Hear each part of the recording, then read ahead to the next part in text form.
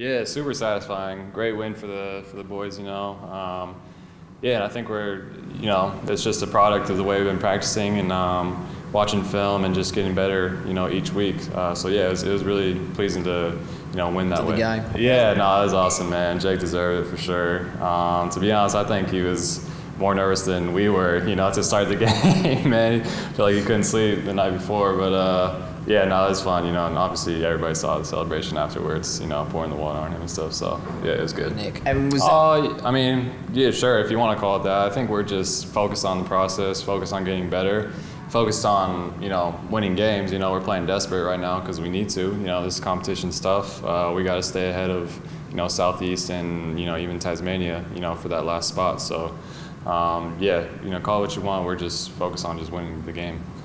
Yeah, for sure. Um, yeah, we didn't have like too many great wins, you know, to be, begin the year.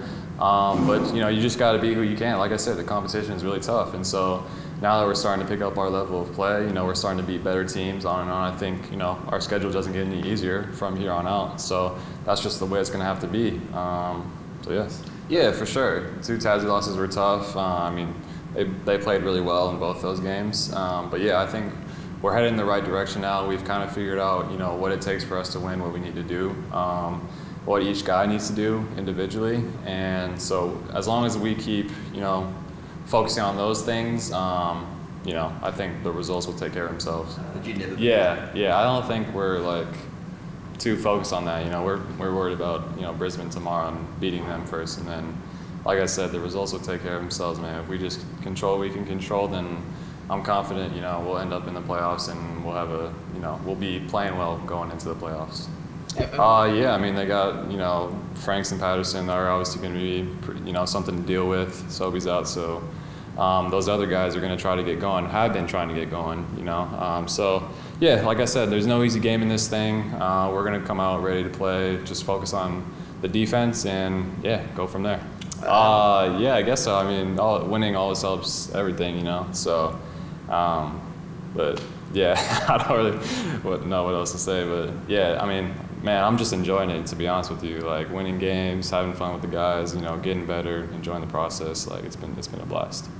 Yeah, for sure. I think like probably the two biggest things is just defensively, you know, um, being in spots off the ball, um, guarding a little better, and then offensively just being able to get downhill more. You know, last year was real one-dimensional, shooting a lot of threes. Um, so now I feel like I'm able to get downhill a little better um, and make plays in the paint and stuff. So yeah, I do feel like I've gotten better and I'm gonna continue to get better. I'm here.